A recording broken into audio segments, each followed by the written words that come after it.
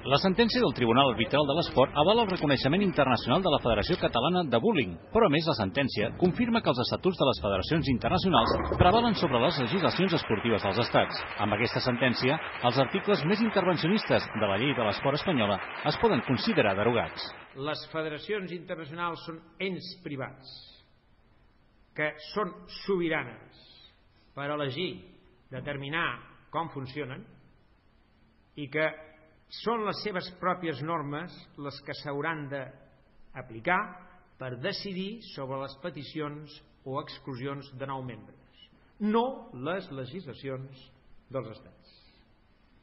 Segona qüestió, no constitueix un principi general de l'esport en la seva dimensió internacional no constitueix un principi general de l'esport el fet de que hi hagi una sola representació per l'Estat. Les voy a enseñar el pasaporte que tiene este señor y los demás representantes de la Federación Catalana. Este. Este es el pasaporte. Y aquí, aquí, aquí pone España. Ara no tindria cap sentit, cap ni un, que el senyor eh, president d'una federació aixequés un passaport i digués eh, doncs, eh, goita, aquest és el conflicte. Gairebé 50 federacions catalanes poden demanar ja el seu reconeixement internacional, algunes de tan importants com la de bàsquet, l'handbol, la natació o l'atletisme. Una altra cosa és que després les respectives federacions internacionals votin favorablement o no.